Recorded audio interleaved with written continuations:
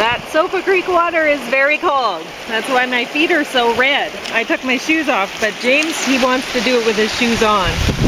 But uh, I think I picked a good place to cross. He's following in my footsteps because he watched how I did it.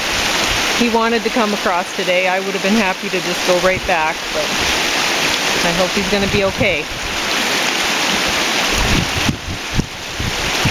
Maybe he feels that he can feel things better with the shoes on. I've always felt that it's better to go barefoot. You can feel things better barefoot, I think.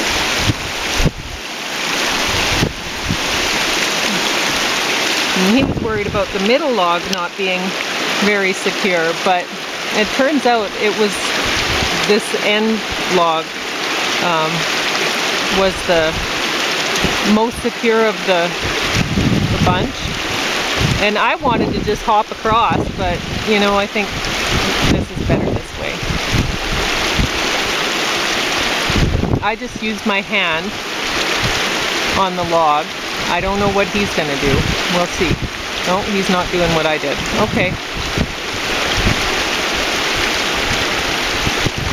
I just kind of knelt on the log and used my hands to crawl across and one foot on the on the bottom of the on the rip, on the creek bottom. That's what I did. But James is doing something different.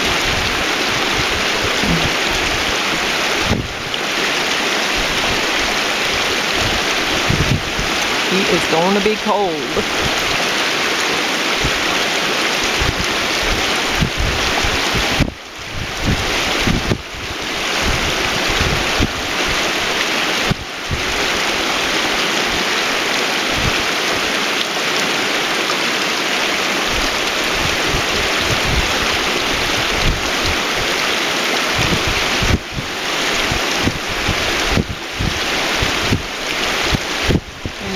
There's lots of that yellow mountain avens in bloom on this side. Lots of flowers.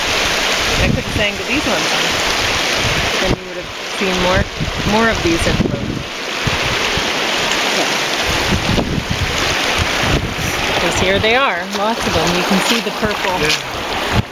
Glad you discovered purple the hair.